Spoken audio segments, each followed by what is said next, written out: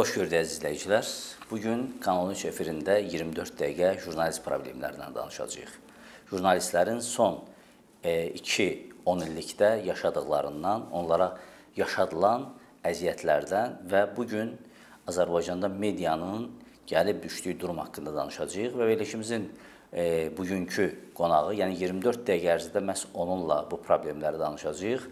E, Konflikt Az saytının baş redaktoru, eyni zamanda həm də siyasətçi Ümid Partiyasının sədr müavini Bakir Həsənbəyli. Bakir bəy, xoş gördük. E, 24 dəqiqə proqramında sizi bir daha görmək xoşdur. Bu gün təəssüf ki, problemlərdən danışacağıq. Əslində toplum olaraq da, millət olaraq da uğurlarımız son 10 illiklərdə olmadığına görə problemlərdən danışırıq ki, heç olmasa o problemlərin həllinə yardımcı olaq. Şübhəsiz bütün sahələrdə olduğu kimi medianın da özünə məxsus problemləri var. Uzun illərdir siz mediadasınız. E, səhv etmirəmsə konflikt az saytına qədər fərqli-fərqli qəzetlərdə baş redaktora qədər çalışmısınız. E, və bu gün mən istəyərdim ki, sizdən e, konkret olaraq bir bitərəf jurnalist kimi, e, siyasi tərəfinizdən e, çıxış etməyərək ölkədəki medianın durumunu necə dəyərləndirə bilərik? Bax, sizin tərəfdən istəyərdim bunu eşidirəm. Rüfət bəy, əvvəla şəxsən sizə, eyni zamanda kanalınızın rəhbərliyinə dərin minnətdarlığımı bildirirəm Var ki, məni bu gün verilişinizə dəvət etmisiniz. Kanal 13 tamaşaçılarını salamlayıram. Hər birinə uğurlar arzulayıram. e, əvvəla diqqətinizi çatdırım ki, e, deməli mən e, 92-ci e, ilin sonundan e, bu günə qədər e, fasiləsiz olaraq mətbuatdayam. E, bilavasitə mənim işim və ixtisasım e, deməli e, mətbuatla bağlıdır. Mən konkret sualınızın cavabına gəlməmişdən öncə mən mətbuata həm də bir istehsal sahəsi kimi baxıram. Mətbuat digər istehsal sahələri kimi mətbuat da bir istehsal sahəsidir. Burada informasiya istehsal olunur və cəmiyyətə deməli təqdim olunur. Bu o qədər keyfiyyətli olmalıdır ki, cəmiyyət ötürülən informasiyadan, əldə etdiyi informasiyadan cəmiyyət nəsə qazanmalıdır. Niyə Azərbaycan mətbuatı bu duruma düşdü? Konkret sualınız bu bu idi. Əlbəttə ikinci sualım olacaq idi. E, amma siz təbii ki, məni qabaqladınız. Buyurun. Niyə mətbuatımız bu gündədir və niyə bu günə salındı? Lap belə korrekt deyək. E, əvvəla onu qeyd edim ki, e, Azərbaycan e, demək mətbuatı e, müstəqillik e, dönəmində, ilk dönəmlərdə e, mətbuatda fanatlar, fədailər yetişdilər. E, həmin e, dövrün mətbuat nümayəndələri e, ki, onların böyük bir qismi e, yalnız bu sahənin fanatları idilər. Yalnız bu sahənin fədailəri idilər. E, adamlar e, demək olar ki, maddiyyəti daha sonda düşünərdilər ki, o onların o da zəhmətin müqabilində əldə etdikləri o maddiyyət ki, qanarlar idi, əmək haqqları idi və bundan başqa deməli e, üçüncü mətbuat nümayəndəsinə, baş redaktora e, veriləcək və yaxud onun alacağı başqa bir deməli e, qazancı yox. Bakir bəy, gerçəkdən bugünkü mətbuatda, bugünkü mətbuatda o media kapitanları ifadəsini çox-çox istifadə edirlər və yaxud da ki, medianın önündə gələn şəxslərin təqdimatına baxanda bir də adam 90-cı illərin əvvəllərində Nəcəf Nəcəfovu göz önünə gətirir. Gerçəkdən böyük təzad yaratır. Ağmalı Sadiq əfəndini. Şübhəsiz, şübhəsiz o siyahını siz daha yaxşı bilirsiniz. Demək, e, bu indiki dönəmlə demək əvvəlki, yəni mənim də e, mətbuata e, gəldiyim e, zamanları müqayisə etmək ümumiyyətlə mümkün deyil. Nəzərinizə çatdırım ki, bu gün e, Azərbaycan mətbuatında bir zamanlar yaşıl bazarda araba sürən şəxs bu gün Azərbaycan mətbuatında media kapitanı kimi de, deməli təqdim olunur və həmin şəxs e, hakimiyyəti Bu gün də e, mediada varmı o? Ya... Nəinki mediada var? Mətbuat Şurasının üzvüdür. Nə danışırsınız? Bəli. Bəlkə ad çəkək. həmin şəxs bilirsiniz, e, o bir e, belə deyək də yarı zarafat, yarı gerçək e, bir e, məsələ var. Deyir ki, hər kəs öz fitini tanıyır. Sözsüz ki, mən deyəndə hər kəs öz fitini tanıyacaq. E, o qədər də çox adam belə deyək də yaşıl bazarda araba sürəndən sonra gəlib e, yük arabası sürdükdən sonra gəlib media e, sahəsində çalışmayıb. E, bilirsiniz, bu tip insanlar e, çoxdur, həddindən artıq çoxdur. Azərbaycan mətbuatında çoxdur. Məsələn, e, mənim e, tanıdığım e, onlarla bu cür şəxslər var və bu hardan başladı? E, Rüfət bəy. E, əvvəla onu qeyd edim ki, həmin e, mətbuatla bağlı proses başladı siyasətçilərin və demək həmin müxtəlif siyasi partiyalara rəhbərlik edən şəxslərin hakimiyyətin bu və ya digər müxtəlif qolların tərəfindən alınmasından gedir söhbət. E, alınması ifadəsi ola bilsin ki, sizi və yaxud tamaşaçılarımızı təəccübləndirə bilər, amma e, adam əgər belə deyək də e, özünün e, mövqeyini heç nə baş vermədən, onun prinsiplərində heç nə baş vermədən, heç nə dəyişmədən 180 dərəcə dəyişirsə, deməli adam alınıb. Demək, e, başladı bu e, siyasətçilərin e, e, müəyyən hakimiyyətin müxtəlif qolları tərəfindən alınmasına. Məsəl üçün mən sizə bir məsələni diqqətinizə çatdırım. E, mən bir e, təşkilat rəhbərinin şəxsi münasibətlərim vardı, tanıyırdım. E, adamın dəftərxana ləvazimatları bitən kimi rəhmətli Rəfail Allahverdiyev yəni sürücüsünü göndərdi ki, Rəfail müəllimə denən ki, həm o məsələni versin, həm də deməli bizə yəni, söhbət 90-cı illərin ortalarından gedir. Ki, həmin dövrlərdən bəli gedir. Bu gün e, deyirik ki, niyə mətbuatın durumu bu cürdür? Yəni niyə Azərbaycan mətbuatı müstəqildir? Yenə də istisnalar. Sözsüz istisnalar var. Sözsüz. Az bir qism, çox az bir qism istisnalar var. E, mən söhbət e, e, sözsüz ki, peşəkar mətbuatdan gedir. Mən sizə bir məsələni e, deyim, sonra e, deməli e, o məsələyə qayıdaraq əgər icazə versəniz, bir dəfə e, mən bir nəfər mənə müraciət etdi. Adam baş redaktor idi.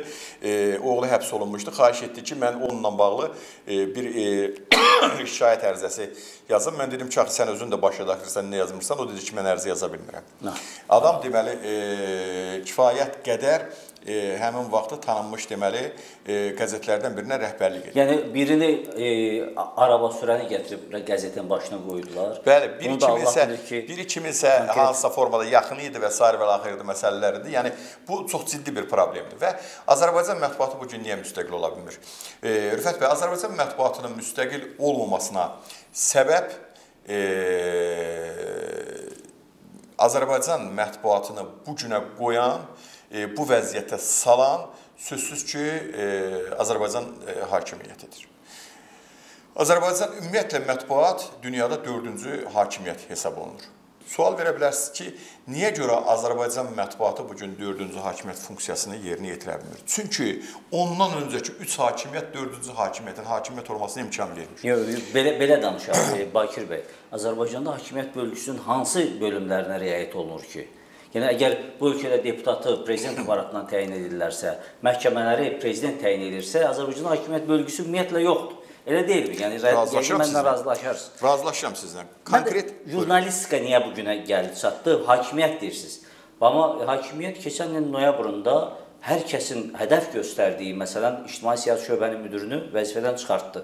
Hər kəs onu göstərdi hədəf. Amma son 6-7 ayda Azərbaycan mətbuatında bir müstəqil e, avra yaranırmı? Müstəqil ab-hava yaranırmı? Bax, məsələ budur. E, yenə qayıdıram əvvəlki e, cümləmə ki, e, özündən əvvəlki 3 hakimiyyət 4-cü hakimiyyəti, mətbuatın hakimiyyətinin e, bərqərar olmasına imkan vermir. Onlardan ikisi icra və qanunverici hakimiyyət mətbuata mənim trolum funksiyasını e, göstərir. E, üçüncü hakimiyyət, məhkəmə hakimiyyəti isə onu qanunlarla hədələyir. Həddini aşarsansa qanunlarla hədələyir və bu məsələ sözsüz ki, Azərbaycan mətbuatının mövcud duruma düşməsinin səbəblərindən biridir. İkincisi e, və ən böyük səbəbi e, demək siz e, e, Azərbaycan e, Respublikası e, deməli prezident administrasiyasının e, ictimai siyasi şöbəsinin müdiri Əli Həsənov səhv eləmirəmsə qəsd etdiniz ki, həm də köməkçisi idi. Hər kəs hədəf kimi onu göstərir. Hədəf kimi. Əslində Azərbaycan mətbuatının bu vəziyyətə düşməsində Əli Həsənovun müstəsna xidmətləri var. Sözsüz ki, o müstəsna xidmətlər mən dırnaq arasında deyirəm. Nə neqativ anlamda? Bəli, əlbəttə neqativ anlamda. Çünki Əli Həsənov deməli e, özünün sevimlilərini yaratdı. Özünə aid olan, özünə tabe olan qurumlar yaratdı. Media ilə bağlı e, elementar bir məsələnin sizin diqqətinizə çatdırım. Deməli, e, KİVDF deyilən bir qurum var. E, demək, həmin quruma uzun illər Əli Həsənovun sağ əl olan Vüqar Səfərli e, rəhbərlik etdi. Nəzərə alaq ki, e, deməli Vüqar səfərliyi ilə bağlı hal-hazırda onun rəhbərlik etdiyi dövrlə əlaqədar deməli e, Baş prokurorluğun korrupsiyaya qarşı mübarizə idarəsində başlanan e, işdə o qədər nüanslar ortaya çıxır. Sözsüz ki, mətbuatdan aldığım mən məsələləri deyirəm. Məsəl üçün e, Vüqar Səfərlinin gələ-gələ hal-hazırda bir aydan sonra bilirik ki, e, mətbuat e, deməli il dönümü gəlir. E, 22 iyulda. Bəli. Demək 22 e, hər il həmin ərəfədə artıq ikinci e, e, dəfə idi ki, deməli e, jurnalistlərə Bu il özü 145 illikdir. Bəli, bəli, bəli, çox doğrudur. E, deməli e, evlər, mənzillər Məsələn, evlər məsələsində mən istəyirdim ki, üzərində dayanaq. Jurnalistlərin bu hala e, düşməsində mən çox adamları son 10 ildə izləmişəm. Qələmlərinin kəsəri e, bir var ki, zəifliyə, bir var ki, aradan gedə. Adamlar artıq yazmırlar. Yəni keç o verilən evdə oturub, təbii ki, ver, verilən evdə oturan və hələ də yazan jurnalistlər də var, az da olsa, amma əksəriyyəti sanki bundan susturdular. Bax, e, Rüfət müəllim, deməli bu evlər necə bölündü? E, bu hər biri bu, bu məsələlərdə bunlar şərtlərlə oldu. E, mən sizə deyim, deməli bir e, şəxsin e, ki o şəxsin özü e, deməli o o e, təşkilatın özünün rəhbəri Əli Həsənovun katibəsi olmağa qədər razı olan bir şəxs idi. Ad olarmı? E, həmin ad çəkməyək, yenə deyirəm ki, hər kəs fitrindən tanıyacaq. Tamam. Həmin şəxsin katibəsinə e, deməli jurnalistlərin binasında ev verildi. Katibə özü jurnalist idi. Qətiyyən adı üstündədir, katibə. Yox, başa düşdüm. Məsələn, bir qəzetdə çalışır. Qəzetdə də deyil adam. Aha. Onu qəzetdə olduğu kimi ola bilsin ki, sənədləşdirə bilərlər. Amma adam qəzetdə də deyil. Mən bu adamı təxminən bir e, 20 ildən artıqdır e, adamı tanıyıram. Adamın funksiyası həmin şəxsin katibəsi olmaqdır. Başqa bir ondan onu getmir. İkinci bir tərəfdən Bakının e, bahalı qəsəbələrindən birində villası olan şəxs jurnalistlərin binasından ev aldı. Çox maraqlıdır. Əvvəl dediyim kimi, demək Yaşıl bazarda araba sürən şəxsə iki dəfə jurnalistlərin binasının ev verildi. Bu günləri səhər-səhər sosial şəbəkələrdə məlumatları izləyərkən tanıdığım illər uzun tanıdığım baş redaktorlardan biri çox maraqlı bir deməli status yazmışdı. Statusda deyilirdi ki, bir baş redaktor iki binadan 4 mənzil alıb və bu günlərdə mənzil almaq iddiasındadır. Növbəti dəfə mənzil almaq iddiasındadır. Bundan başqa mətbuatdan siz də deməli rasta e, gəldiniz.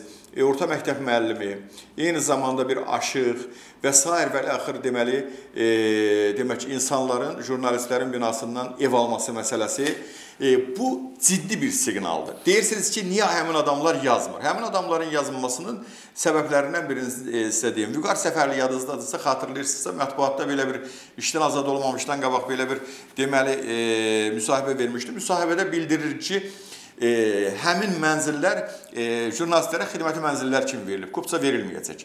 Bu onları təhdid altında saxlamaq idi. Amma sonra elə bir verildi yəni kupçalar. Sonradan artıq belə deyək də ortada iradə gördükdən sonra, məsələn sosial şəbəkədə və mətbuatda belə böyünəndən sonra Vüqar Səfərli e, deməli e, müsahibəsinin formatını dəyişdi.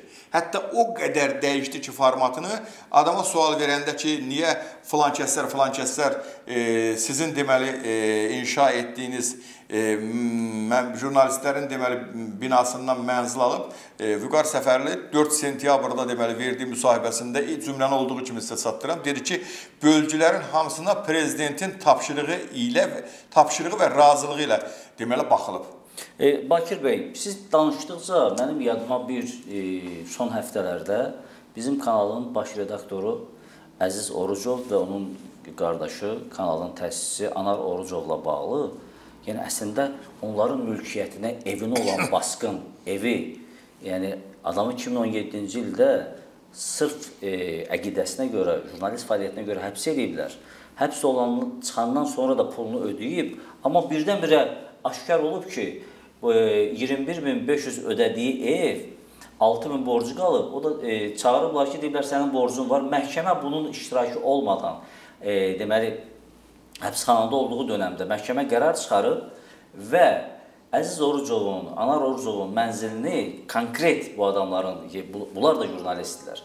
Mənzillərini əllərinə alıb kiməsə verib, yəni akord şirkətinə söhbət gedir. Burada bu biri tərəfdə e, heç bir fəaliyyəti olmayan katibəyə belə evi paylayırlar. Amma konkret olaraq Azərbaycan jurnalistikasında yeniliyə imza atan Azərbaycanın ən böyük internet televiziyasının e, deməli rəhbərliyinin halal evini belə əllərinə alırlar. Mən əgər e, imkan varsa mən o Əziz bəyin o dediyini eşidək, əziz izləyicilərimiz üçün də e, o reallıq məlum olsun və söhbətimizi elə həmin kontekstdə davam etdirək. Mənzilimin qarşısında gəlmişəm. Mənim amma mənzilimin karantin günlərində Akkord tərəfindən gəlib zamoku dəyişdirilir. Bundan bu karantin vəziyyətindən istifadə edirlər. Mənim mənzilimin görürsünüzmü? Mənim mənzilimin gəlib dəyişdiribdilər qapısını. Zamokunu dəyişdiribdilər. Qapının dəyişdirərkən bu hissələri e, burada lom salıbdılar, aralayıbdılar qapını və beləliklə də bu akkord hansı ki karantin müddətidir, karantin müddətini özü üçün lazım olan bir qaydada dəyişdirməklə özünə lazım olan formada işlərini görməklə məşğuldur. Çünki mənim mənzilimə aid hər hansısa bir məhkəmə qərarı yoxdur. Mənim mənzilim 45 kvadrat metr bir otaqdan ibarət mənzildir. 45 kvadrat metr bir otaqdan ibarət Abşeron Gənclər şəhərciyində yerləşən mənzildir. Bu mənzillə bağlı hər hansı bir məhkəmə qərarı yoxdur. Akkord tam öz başınalıq eləyərək bu hərəkəti eləyir. Əziz izləyicilər, davam edirik. E, hansı jurnalistlərə ev verildi, hansı jurnalistin evi əlindən alındı, halal mənzili, pulunu ödədiyi mənzili. Bax, Budur Azərbaycanda bayaqları Bakir bəyin dedi, məhkəmələrin ədalətsizliyi və jurnalistləri öz ədalətsizliyi ilə hədələməsi. Bax, bu prosesin sonu hara doğru gedə bilər? Rüfət bəy, deməli, e, əvvəla onu qeyd edim ki, e, bütün böyük e, şirkətlər və holdinqlər e, Azərbaycan iqtidarında təmsil olunan yüksək çinli məmurlara e, yaxınları vasitəsilə, ailə üzvləri vasitəsilə, etibar etdiyi şəxslər vasitəsilə tabedir. Eyni zamanda da mən e, Akord şirkəti e, ki, e, Azərbaycanın dövlət başçısı mütəmadi deyir ki, e, Azərbaycan hüquq dövlətidir e, və burada hüququn e, aliliyi e, qəbul olunur, tanınır. E, mən təqdir edirəm bu cümləni ki, bu cümləni dövlət başçısı deyir. Amma ona da təəssüf edirəm ki, dediyiniz kimi birinin taleyinə mühazirlik, digər qardaşın taleyi isə siyasi deməli e, məhbusluq e, yazılan bir ailənin e, cəmi e, demək bir neçə min e, borcu qaldığı halda ki, o borcda məhz e, məlum səbəblərdən ki, həbsxanada olduğu üçün ödənilə ödənilməyib. Əks təqdirdə deməli e, daim e, ədalət e, keşiyində olan bu qardaşlar sözsüz ki, o borcu da saxlamazdılar. Amma bir şirkətin ki, bir e, vətəndaşın evinə girib icazəsiz girmək, e, onun evini mənimsəmək, evini əlindən almaq ki, orada e, ödəyəcəyi pulun e, 3,5 mislini artıq ödəyib. E, burada artıq ədalətdən söhbət gedə bilməz. Sözsüz ki, bu ədalətsiz qərardır. Əgər bunu məhkəmə qərar qəbul edibsə, bu ədalətsiz qərardır. Əgər bu məsələ ilə bağlı deməli Akord şirkətlər qrupu hər hansı bir addım atıbsa, sözsüz ki, e, bu addım ciddi şəkildə qınayıram və cəmiyyət də bu addımı qınamalıdır. Sözsüz ki, dövlət başçısı mətbuatın növbəti e, demək il dönümü, yubiley ərəfəsində bu məsələyə ciddi münasibət göstərməlidir. Əziz bəyin, Anar bəyin e, qanuni haqları özlərinə qaytarılmalıdır və e, mən həm də bu çağırışı ona görə etmirəm ki, yerdə qalan dediyiniz 6000 ona bağışlasınlar. Xeyr, bağışlamasınlar. Amma insanlara zaman tanınmalıdır. Çünki məsələ ilə bağlı bilirik ki, pandemiya dövründə müəyyən bank e, deməli kreditləri olan şəxslərə müəyyən güzəştlər olundu məsələlərlə bağlı. E, Əziz bəylə konkret bağlı isə, Anar bəylə bağlı isə konkret olaraq deməli obyektiv səbəblər var. Biri məlum səbəblərdən ölkə xaricindədir, biri məlum səbəblərdən həbsxanadadır. Təşəkkürlər Bakir bəy. Verilişimizin təəssüf ki, sonuna gəlib çatdıq. Çox suallarımız var idi, çatdıra bilmədik. Amma mən istəyərdim sonda bir neçə kəlmə ilə bu suala sizdən cavab eşidəm. Azərbaycan jurnalistikasının gəlmiş keçmiş əsas simalarından biri olan professor Qulu Məhərrəmli son zamanlar bir müsahibəsində qeyd etmişdi ki, jurnalist hökumətdən bəxşiş ala bilməz. Sizcə Azərbaycan jurnalistikasının bu kökə düşməsində asılı, məsələn son polis zorakılığı, yasama olaylarında da bəzi saytların gerçəkdən e, necə deyim, məntiqə sığmayan demirəm, vicdana sığmayan mövqelərinin şahidi olduq. Rüfət bəy, uğurlu menecer, uğurlu mətbuat meneceri, uğurlu baş redaktor ifadəsini tez-tez eşidirik biz. E, nəzərə alın ki, bir e, deməli oliqarx məmur o mətbuata e, qa deyəndə, deməli ət qu deyəndə su verirsə, Burada hansı uğurdan gedir? Uğurlu mətbu orqanı yaratmaq üçün peşəkar komanda formalaşdırmaq lazımdır. Bu gün Azərbaycan reallığında bunu bunu formalaşdırmaq qeyri-mümkündür. Mən hörmətli Qulu müəllimin fikirlərini tam mənasında dəstəkləyirəm ki, bəxşiş almamalıdır. Amma bir məsələni nəzərə çatdırım və eyni zamanda buradan e, Qulu müəlliminə diqqətinə çatdıram ki, e, sizin işlədiyiniz dönəmdəki mətbuat deyil bugünkü dönəmdə. Bu gün icra hakimiyyətləri var idi ki, e, deməli Dövlət Təhlükəsizlik e, Xidmətinin e, struktur dəyişikliyindən sonra e, sözün əsl mənasında qorxaraq deməli e, hər ay 81 e, deməli jurnal baş redaktora e, ayda deməli paket verirdi. Ki e, elə icra başçıları var idi ki, heç bir peşəkarlığı olmayan, yəni e, adamın belə deyək 5 cümləlik bir informasiyanı yazarkən bir 15 dənə deməli xətalar buraxan şəxs Azərbaycan mətbuatında o, o ondan çox deməli e, bu günlər mətbuat şurasının üzvü olan e, deməli mətbu orqanları da var. Onların içərisində onlara həmin icra başçısının deməli ayırdığı paketi paylayırdı. E, amma e, məsəl üçün nə olar ki, mətbuatla bağlı həvəsləndirici müxtəlif deməli tədbirlər var. Tutaq ki, kütləvi e, KİVDF-nin illərdir keçirtdiyi müsabiqələr var. E, ki, o müsabiqələrdə yalnız bəlli bir quruma demək e, şərait yaradılır, onlara məlumat verilir. Yalnız bəlli bir quruma mükafatlar verilir. E, yalnız bəlli bir qurum e, deməli e, hansı qurumlar ki, zamanında demək Əli Həsənovun e, bütün dediklərini e, istisnasız olaraq yerinə yetirən qurumlar var ki, yalnız həmin qurumlar müxtəlif tədbirlərə dəvət alınır. Bütün bunların hamısı e, Qulu müəllimin dediyi, işlədiyi dönəmdən fərqli bir dönəmdir. Bu günləri mən düşünürəm ki, o dırnaqarası uğurlu media menecerləri, o dırnaqarası e, uğurlu deməli e, media kapitanları və uğurlu e, baş redaktorlar həmin e, deməli insanlardan, e, oliqarxlardan yardım almasalar, onlar heç bir uğurdan söhbət gedə bilməz. Heç bir onların fəaliyyətindən söhbət gedə bilməz. Nəzərə alın ki, bir zamanlar Azərbaycan iqtidarının e, demək haqqında yaratdığı gülməli personaj e, yaratdığı şəxslər bu günləri dövlət kanallarının sevimlisinə çevriliblər. Nə dəyişdi? Sual mən e, çıxışımın əvvəlində olduğu kimi yenə təkrar edirəm. Nə dəyişdi ki, bir zamanlar sənin gülməli personajını cəmiyyətə təqdim edirdilər. Bu günləri deməli sən e, dövlət kanalının sevimli e, demək e, e ekspertinə, ekspertinə və simasına çevrilmisən. Yəni bütün bunların hamısı sözsüz ki, bir-biri ilə bağlı olan məsələlərdir. Bakir bəy, çox önəmli mövzudur. Təəssüf ki, bizim vaxtımızın e, çoxdan keçib, amma o qədər maraqlı, o qədər necə deyirlər, e, aktual mövzu olduğuna görə e, mən sözünüzü kəsmədimsə təşəkkür edirəm. Mənə elə gəlir ki, bu gün verilişlərin e, hazırlanmasında, bu söhbətlərin aparılmasında əsas məqsəd heç olmasa o impulsu yaratmaq lazımdır cəmiyyət üçün ki, e, biz bilirik, biz bu problemləri, jurnalistikaya yaşadılan problemləri bilirik və bunların həllini istəyirik.